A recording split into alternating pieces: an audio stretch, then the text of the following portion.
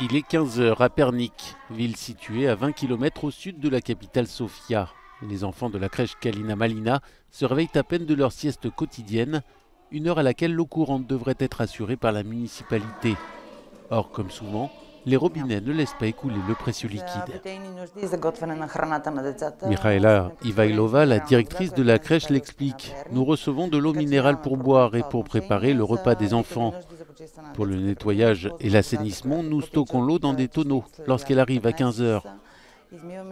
Nous nous lavons et nettoyons, puis nous faisons le plein pour le lendemain.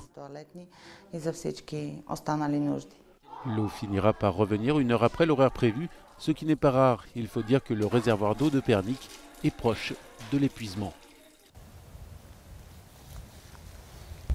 Ne reste pas beaucoup d'eau ici. Il en reste environ 3 millions de mètres cubes sur une capacité totale de 20 millions.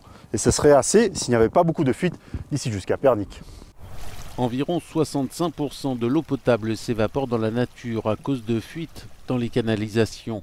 Le rationnement de l'eau est devenu plus restrictif depuis son instauration en novembre et il devrait être prolongé au moins jusqu'en avril.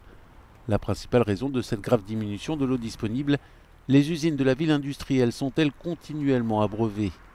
Le ministre de l'Environnement de l'époque, Neno Dimov, aurait approuvé des rapports indiquant des niveaux alarmants dans le réservoir principal, sans pour autant modifier le plan de distribution de l'eau.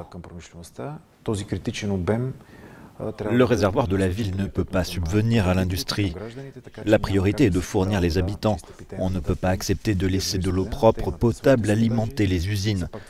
Ce sont des géants de l'industrie. Ils peuvent forer leur propre puits et trouver une autre source d'approvisionnement. La principale usine sidérurgique de Pernik n'a pas répondu à nos demandes d'interview. Les syndicats ont cependant averti que sans eau, 1500 travailleurs pourraient être mis au chômage.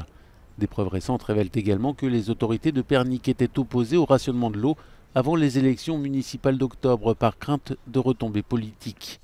En attendant, Pernic s'approvisionnera en eau via les infrastructures de la capitale Sofia toute proche.